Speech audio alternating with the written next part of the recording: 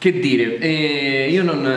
non, intervengo per raccontare il progetto che, che molti conoscono meglio di, di, me, sto qui diciamo in un'altra veste, eh, ma semplicemente per ricordare una cosa, in Italia, non soltanto in Italia, nei paesi ricchi, eh, eh, c'è la crisi, però insomma rispetto a buona parte dei paesi che, del mondo l'Italia continua ad essere un paese ricco, non soltanto ricco, insomma anche violento, colonialista insomma in molte eh, diverse forme, insomma. Ecco, nei nostri paesi noi quando parliamo de della scuola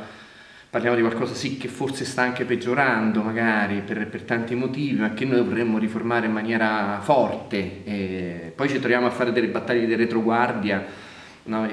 quando un tempo eravamo progressisti, oggi siamo conservatori per cercare insomma, di mantenere quantomeno quel poco che, che ci sembra che funzioni, però appunto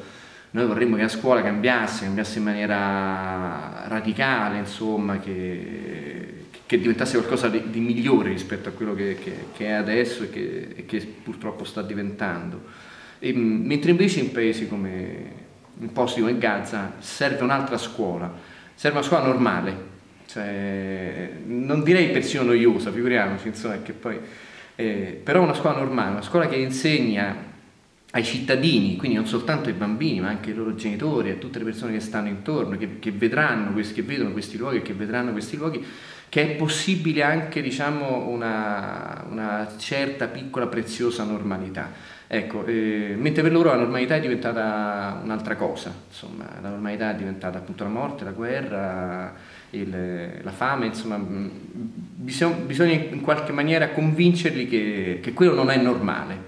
che, che la normalità è, è un'altra, anche sicuramente più noiosa insomma, e, e, forse diversa da quella che vorremmo nelle nostre scuole, però sicuramente più, più utile insomma, a far crescere in maniera decente le persone.